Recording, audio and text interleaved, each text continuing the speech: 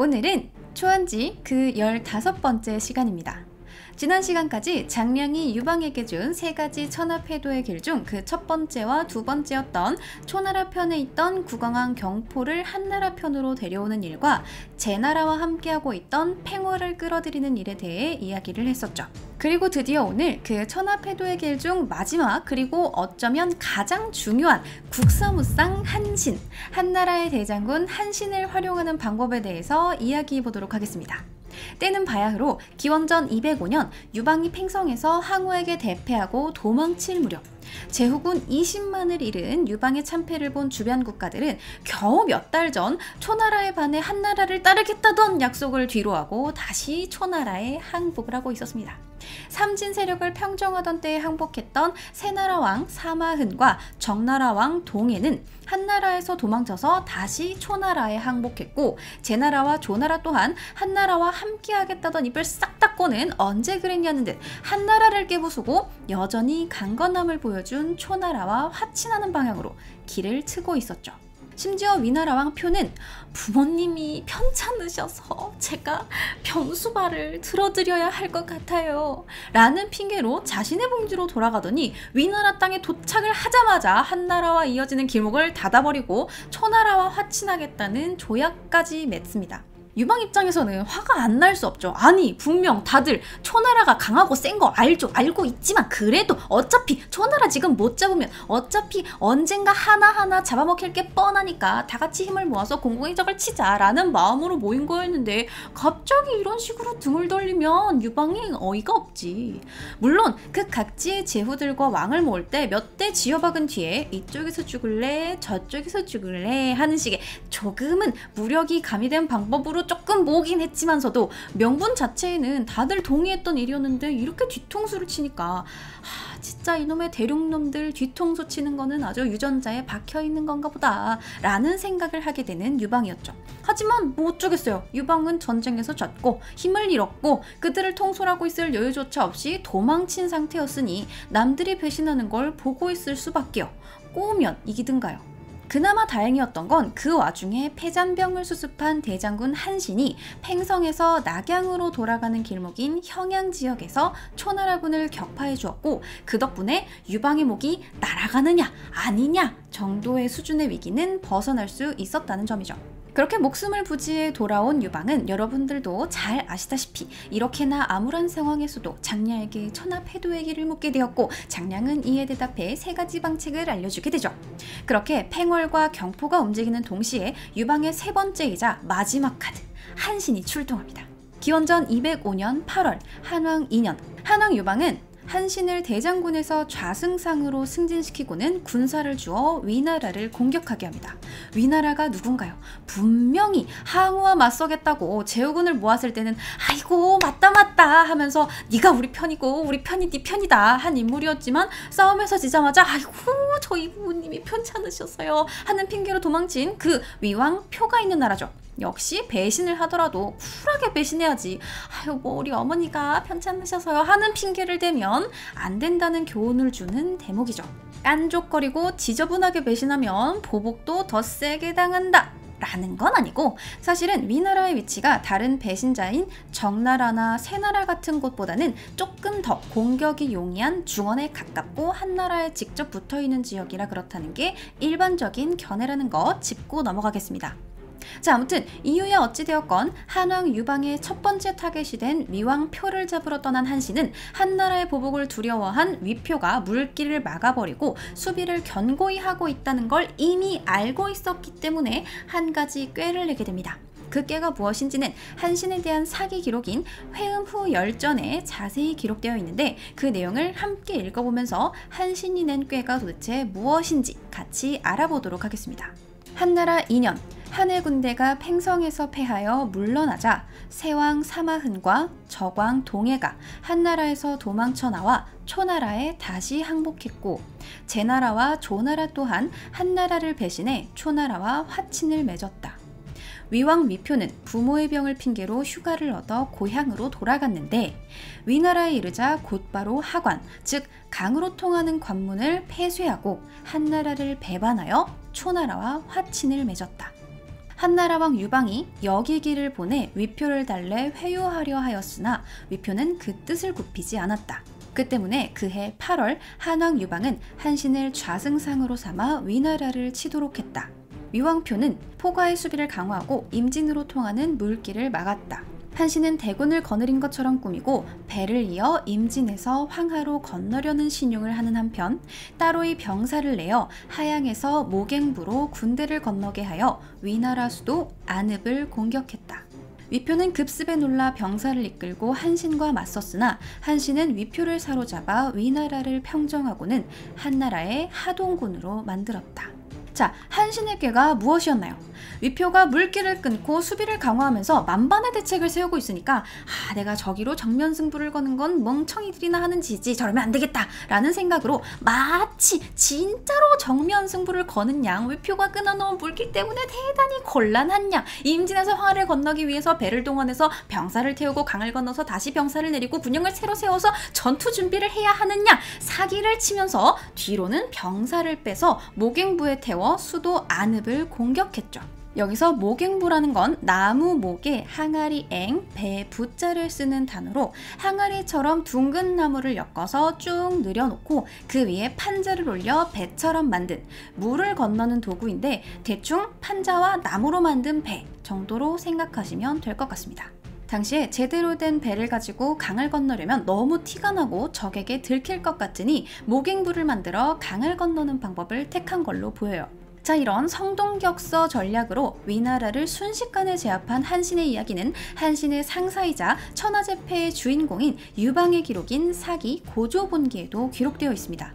그런데 이 고조본기의 기록에서는 한 가지 재미있는 점을 찾을 수 있는데요. 그 재미있는 점이란 무엇인지 고조본기의 기록을 한번 읽어보도록 하겠습니다.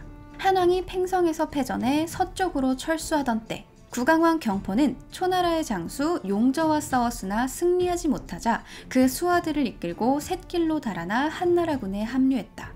한왕 유방은 서쪽으로 퇴각하면서 패잔병들을 점차 수습해 여러 장수와 관중의 병사들을 모아내니 평양 지역에 이르렀을 때 군대의 사기가 진동했고 마침내 경현과 삭성 사이에서 벌어진 초나라군과의 전투에서 초군을 무찔러 위기를 피했다. 한왕 3년 위왕 위표가 부모의 병을 살피러 휴가를 청해 귀국했는데 그는 위나라에 도착하자 즉시 황하포구를 끊고 하늘 배반에 초에 투항했다. 한왕은 여기기를 보내 위표를 설득했으나 위표는 듣지 않았고 이에 한왕 유방은 장군 한신을 보내어 그를 공격하게 해 크게 무찌르고 사로잡았다. 자 여러분 재미있는 점이 뭔지 눈치채셨나요? 바로 이 부분이죠. 한왕 3년 위왕 위표가 부모의 병을 살피러 휴가를 청해 귀국했는데 그는 위나라에 도착하자마자 즉시 황화포구를 끊고 하늘배반에 초에 투항했다. 선생님 여기가 왜 재미있는 부분이죠? 라는 생각이 드신다면 아까 읽었던 한신의 기록 회음 후 열전의 내용을 바로 다시 들어보시죠. 한나라 2년 한해 군대가 팽성에서 패하여 물러나자 위왕 위표는 부모의 병을 핑계로 휴가를 얻어 고향으로 돌아갔는데 위나라에 이르자 곧바로 하관 즉 강을 통하는 관문을 폐쇄하고 한나라를 배반하여 초나라와 화친을 맺었다. 그해 8월 한왕 유방은 한신을 좌승상으로 삼아 위나라를 치도록 했다. 자, 여러분 이상한 점 눈치채셨나요? 아니 고조본기에는 한나라 3년이라고 해놓고 회음 후 열전에는 한나라 2년 8월이라고 해놓고 도대체 뭐가 맞는 걸까요? 자, 이런 일은 바로 역법에 따른 연도를 세는 법 때문에 생긴 일인데요. 이 내용 전에도 한번 들은 적 있죠? 진나라 때부터 이어진 역법이 10월부터 새로운 한 해로 세는 것을 기준으로 하기 때문에 기원 전, 기원 후를 따지는 서양식 연도 세는 법과 다르다는 내용 기억하실 거예요.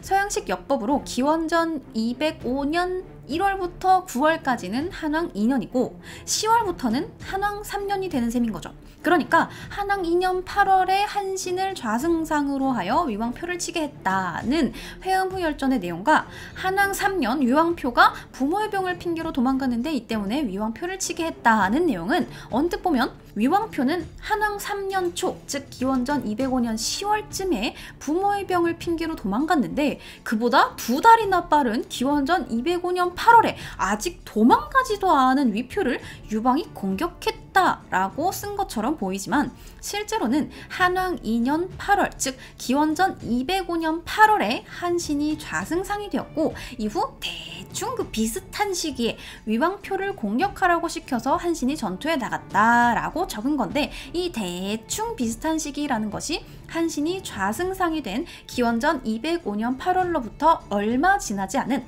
기원전 205년 10월경의 일이라면 그때가 바로 한왕 3년 초가 되기 때문에 위왕표가 도망간 것과 시간이 맞아떨어지는 걸 파악할 수 있죠. 이처럼 사기에 쓰여진 각각의 기록만을 가지고는 디테일한 내용을 파악하는 것이 어렵지만 각각의 기록들을 비교 분석하면서 살펴보면 새로운 재미와 내용을 읽어낼 수 있다는 점이 초원지 이야기를 함께하는 아주 즐겁고 재미있는 묘미가 아닌가 했지만 아주 놀랍게도 해음 후열전에 이어지는 기록에서 앞선 내용보다 더 흥미로운 내용을 찾을 수 있었습니다. 자 그럼 사기 회음후열전의 기록을 이어서 읽어보도록 하겠습니다. 이해를 위해 앞서 읽은 부분을 조금만 다시 읽은 뒤 이어서 읽도록 하겠습니다. 한신은 대군을 거느린 것처럼 꾸미고 배를 이어 임진에서 황하를 건너려는 신용을 하는 한편 따로이 병사를 내어 하양에서 모갱부로 군대를 건너게 하여 위나라 수도 안읍을 공격했다. 위표는 급습에 놀라 병사를 이끌고 한신과 맞섰으나 한신은 위표를 사로잡아 위나라를 평정하고는 한나라의 하동군으로 만들었다. 한왕 유방은 장의를 한신에게 보내어 함께 병사를 이끌고 북동쪽으로 진격하게 하여 조나라와 대나라를 공격하도록 했다. 그 뒤 9월에 그들은 대나라 군대를 깨뜨리고 대나라 재상 하여를 사로잡았다. 한신이 위나라를 항복시키고 대나라를 깨뜨리자 한왕 유방은 사자를 보내 한신에게 그의 정예병사를 이끌고 형양으로 가도록 하여 초나라 군대를 막도록 하였다. 자, 회음호 열전의 기록에서 한신이 좌승상이 되어 위나라를 토벌하러 간 게 한왕 2년 8월 그리고 위나라를 토벌한 뒤 대나라를 토벌하러 간 게 한왕 2년 9월 이어서 고조본기에서 위왕표가 부모의 병을 핑계로 도망친 게 한왕 3년 아, 이 부분에서 깨달은 게 하나 있었으니 사마천은 이런 식으로 사설을 썼기 때문에 고환이 도련해지는 궁형을 받은 거구나. 자, 이 말도 안 되는 기록 때문에 자료 조사를 수십 번을 다시 하며 느낀 분노를 한 나라의 누군가도 느꼈던 것이 아닐까 하는 생각을 하게 됩니다. 아무튼 위왕표가 도망간 게 기원전 205년 8월이건 10월이건 그게 21세기를 사는 저희에게 뭐 그리 중요하겠습니까? 자잘한 사기의 실수 같은 건 넘어가도록 하고 다음 내용을 계속 진행해 보도록 하죠. 자, 의도한 건 아니었지만 앞서 읽은 회음후열전에 이어지는 기록에서 보았듯 한신은 위나라를 단 한 번의 기습으로 꺾은 뒤 아, 이제 할 일 다 했다 하고 쉰 게 아니라 유방에게 사람을 하나 보내게 됩니다.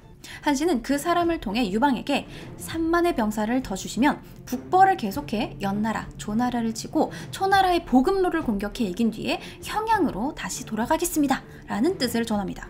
유방의 입장에서야 승전 장군인 한신이 하는 말을 지원해주지 않을 이유가 없었고 3만의 병사와 함께 이를 이끌 장의를 한신에게 보내줍니다. 그리고 이 3만 군사와 함께 한신의 전설적인 북벌 전쟁이 시작됩니다. 한신은 회음회열전의 기록을 기준으로 8월에 위표를 처리하고 9월에 대나라를 공격하게 되는데요. 이 대나라는 위나라를 지나 조나라로 가는 길목에 있는 지역으로 대나라를 친다는 건 조나라를 공격하기 위한 첫걸음과도 같은 일이었는데 실제로도 조나라를 이끌고 있는 진여의 아랫사람인 하열이 대나라를 이끌어가고 있었습니다. 이 하열은 여러분들 들어본 적 없으실 거예요. 당연하게도 한신의 상대가 될 리 없는 인물이었고 곧바로 한신에게 사로잡히게 됩니다. 자 여기까지 승승장구 한신의 계획대로라면 이대로 이 병력을 그대로 몰아서 조나라를 공격하거나 또는 초나라의 보급로를 끊어버리고 다시 한나라로 복귀해야 했죠.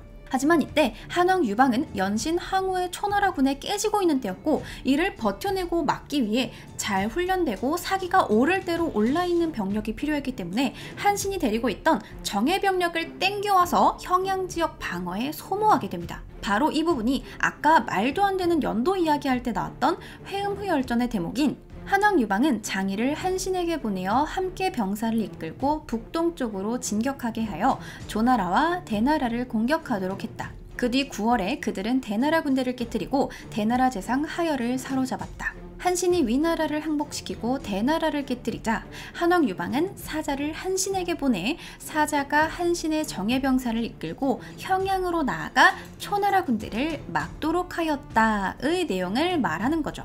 순식간에 정예 병사를 잃고 뭐 남겨진 일부의 병사와 방금 깨부셔서 사이도 별로 좋지 않고 실력도 뒤떨어지는 대나라에서 수습한 수많은 병사만을 가지게 된 한씨는 초나라의 뒤를 치는 건 좀 무리가 있다고 생각했던 건지 아니면 어차피 정예 병력들이 초나라를 상대하러 갔으니 다른 곳을 치는 게 더 낫다고 판단을 했던 건지 그대로 병력을 이끌고 원래 계획과는 달리 초나라 뒤를 치지 않고 대나라를 이긴 기세를 그대로 몰아 조나라로 바로 나아가기 시작합니다.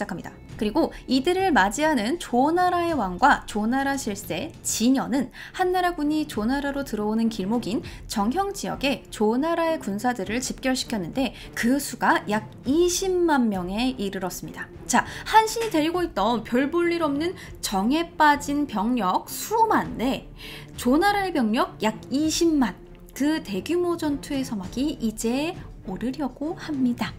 그게 오늘은 아니겠죠. 레전드 북벌을 이뤄낸 한신은 과연 이 조나라의 대군을 어떻게 이길 수 있었던 걸까요? 이번에도 목행부를 타고 몰래 기습을 시도했던 걸까요? 아니면 또 다른 새로운 계책을 낸 걸까요? 과연 그는 어떤 선택을 했을까요? 그 이야기는 다음 시간에 이어집니다. 결과를 알고 들어도 재미있는 초안지 그 15번째 이야기는 여기까지 하도록 하겠습니다.